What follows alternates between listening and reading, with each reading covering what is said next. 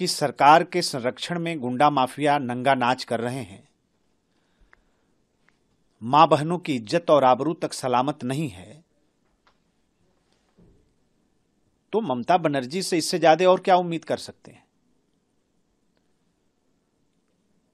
मैं समझता हूँ कि पश्चिम बंगाल की सम्मानित जनता अब यह फैसला कर चुकी है कि उनको खारिज करना है। बीच बीच में उनका फ्रस्ट्रेशन आता रहता है।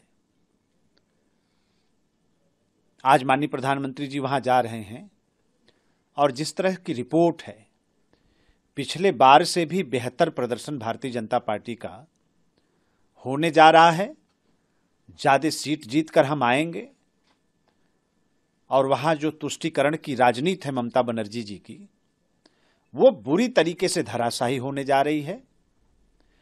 इस बात का एहसास भी उनको है। इसलिए उनका फ्रस्ट्रेशन है जो इस तरह के बयानों के माध्यम से बाहर आ रहा है और कोई बात नहीं है।